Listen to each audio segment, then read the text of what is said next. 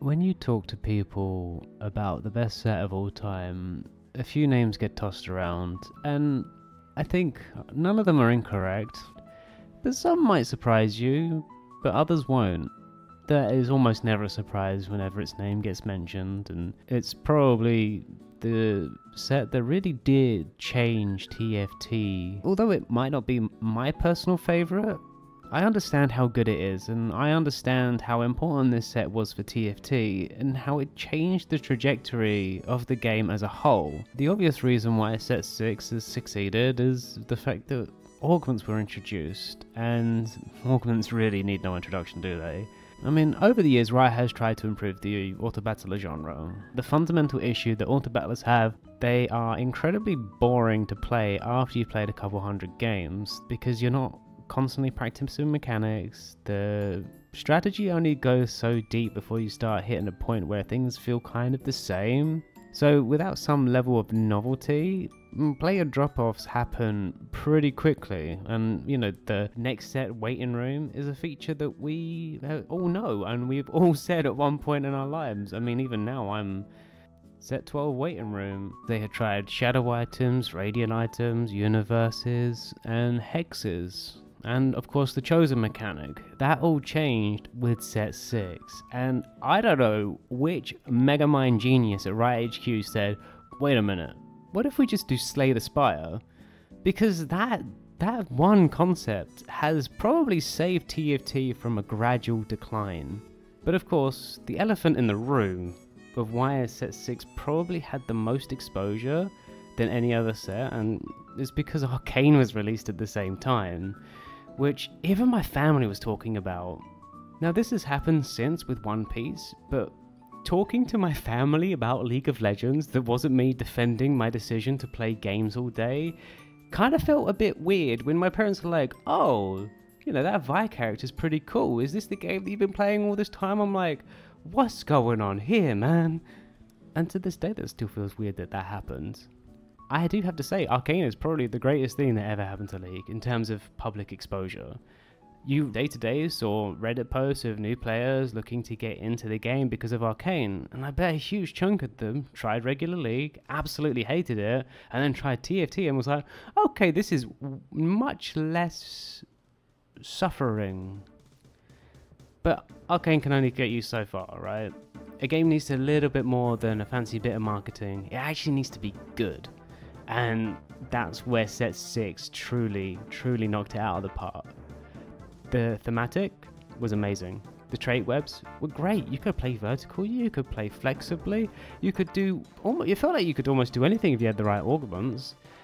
And you even had fantasies. You had big units in Colossus and a summoning unit that ended up being a bloody dragon. People loved this stuff you really felt like you were playing an arcane auto battler. And at the time, obviously, you're going in week to week, you're watching Arcane, you come back and you, you play more games of League, and you're like, oh yeah, I really feel like Jinx is unhinged. I really feel like Jace is cool. You know, it was just that you felt like you were actually controlling the units from Arcane, and that to me is a very powerful fantasy. I mean, the only person I think maybe some people struggle with was Viktor, but because he wasn't quite his human form like we saw on the, the TV show, but that's okay. Oh, and uh, Vi was cool, but Caitlyn, well, we've seen Caitlyn in that form pretty much every set since the inception. And it wasn't just Piltover that was represented, there was Zaun and Ekko, and they really knocked that one out of the park. But I personally would love to have seen a set 2 reprint of Singed in this one, not Flinging, but whatever. And then you had also things like Mutant, which gave different effects game to game. And I don't think we had seen anything like Mutant until this point. I could be absolutely wrong here, but you know, it was cool that you could go in and, you know, there was Cho'Gath reroll that was pretty cool. Um, and like, it kind of felt cool that you could play, have so many different strategies going in, and you know, Cho'Gath was awesome. If you got him in stage one, you knew you were gonna have a great game. And then you had Syndicate Akali and reroll assassins. But this is what I mean. You you also had Challenger, which is kind of similar to Blade Master, right? And you could play these things. You could play Assassin vertically. You could play Challengers vertically. You even had Yordles. Everyone loves Yordles. How many times do you see on Reddit? I love playing with Yordles because people like cute little tiny things that do a lot of damage. And then, of course, there was the final bit, and that was the Easter egg of Veigar. It was these little details in set six that really elevated it from previous sets. Those little nuggets that people just weren't expecting and just appeared randomly without reason. Or you know there was a reason obviously. But it just felt like there was so many things to explore because something might just pop out that you had no idea about. It just was a little bit more novel than set 5 or 5.5 ever was. Set 6 also contained probably my favorite champion of all time and that was Tahm Kench.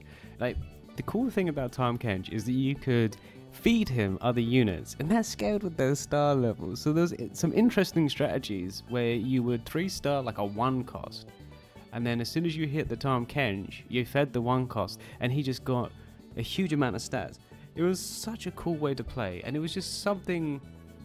It really epitomized how much effort and care went into this set. You had something like Tahm Kench, who just felt amazing to use because you could do so many wonky strategies with. He was a champion with almost limitless potential. This might be a bit of a controversial take, but I quite like Socialite, and I know they had its problems, like it was bugged with its augment, and there was Socialite Kai'Sa, but it also facilitated a lot of niche builds. I mean, if you look at YouTube, so many people farm content from Socialite and it was one of those things that it gave you an interesting thing to do. It's like, oh, what unit can I buff up with Socialite to make it overpowered and strong? It was just one of those inclusions again, just added depth, added novelty and variety, and allowed you to chase things you otherwise wouldn't normally chase.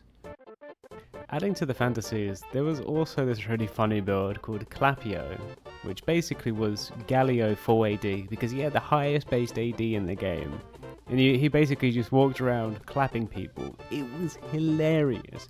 I mean, it did get nerfed into the ground, but man, it was so much fun. Adding these all together, you had Colossus again, like which is awesome.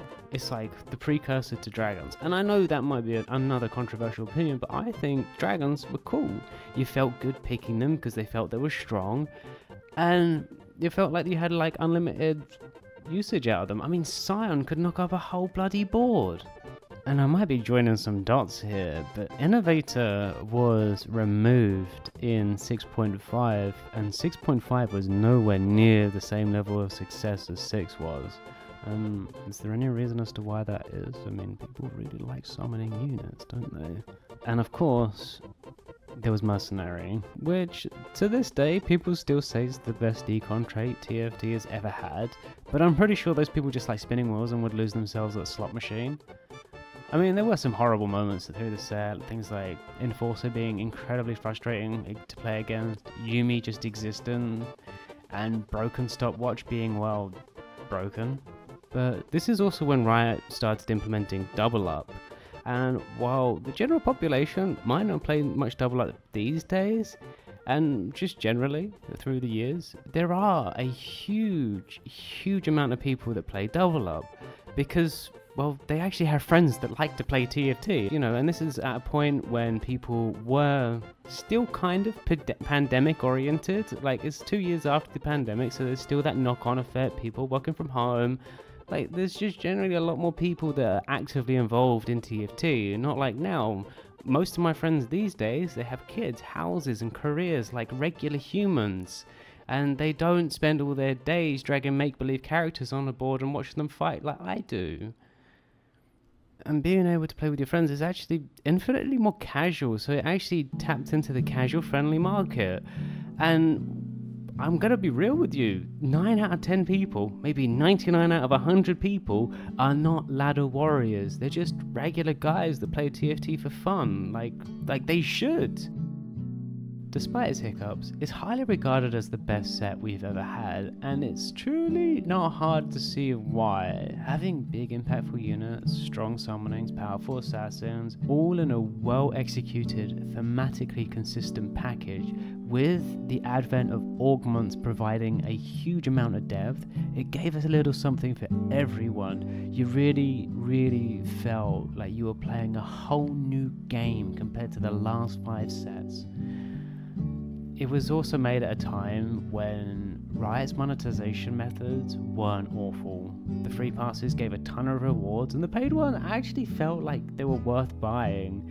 There were no $500 chibi gachas, just eggs and purchasable little legends. It was a time where TFT really felt accessible, that it was deep but still kind of player friendly, like especially for new players. You didn't feel that when you're going into it, it's like overwhelming how complicated everything was and all the interactions and everything. But it was still skill expressive, and with the right skills, you'd succeed and do well and get into high elo.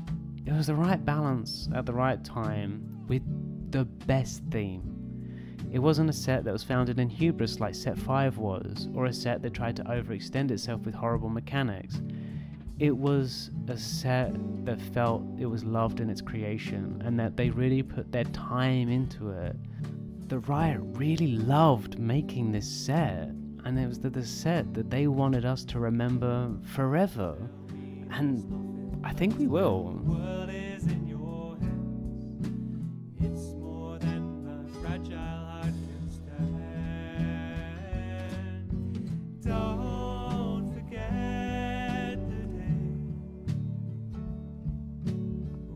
sing outside.